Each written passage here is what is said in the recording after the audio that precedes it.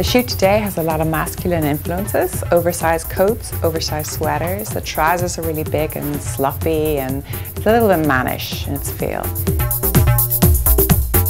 There's a little influence of the boyfriend clothes, a lot of structure in the coats, even cinched waist but then oversized trousers, maybe a few brogues, but then boots and tough boots are really good with the oversized coats and bare legs.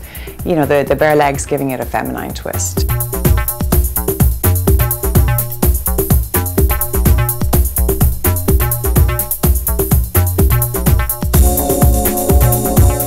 So basically today what we done was we actually used the hair in its own natural form um, by twisting the hair in sections of about an inch or so in diameter. We then kind of sprayed it very lightly with, with some water, clipped it and pinned it and actually then let it set for about like an hour or so. The, the thing with this type of look is it just takes a little bit of time and patience and it's something that most people can do at home when you have a little bit of movement in your hair or length in your hair, unfortunately for shorter hair, you may not get the same effect. And the makeup look that I went for today is kind of urban, cool, um, very simple.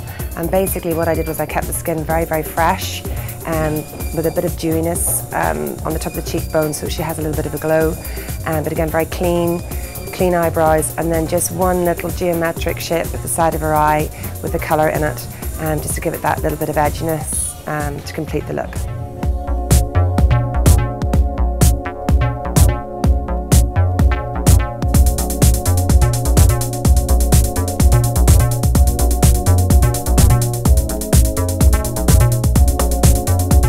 This is going to be in the October issue of Image magazine.